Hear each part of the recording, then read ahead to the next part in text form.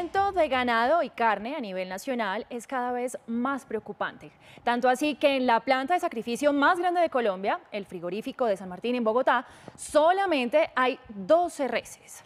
Una situación que definitivamente está afectando los precios de la carne y que cada día hace que aumenten mucho más. Esta es la planta de sacrificio bovino y porcino más grande de Colombia. Aquí antes de los bloqueos cerca de 1.800 reses ingresaban al día. En los últimos cuatro no ha ingresado ni una sola y quedan las últimas 12.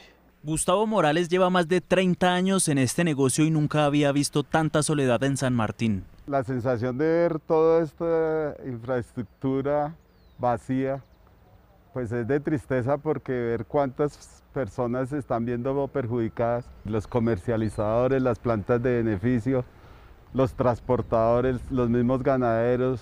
Él sabe quiénes resultan siendo los más afectados. Las familias se están quedando sin un alimento esencial en este momento y asumiendo los aumentos de costos. Y dicho y hecho.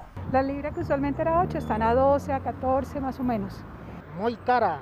Eh, la libra de carne milanesa que compré, porque no pude comprar carne fina hoy. Si comprábamos un kilo ya toca comprar una libra porque toca bajar la mitad. Compré poco, la verdad, con lo que me alcanzó. Antes de salir de San Martín, casi de milagro, logramos ver el arribo de una pequeña carga. Cinco reses que se sumaron a las 12 únicas que había. Venimos de Subachoque, casi tres horas nos demoramos.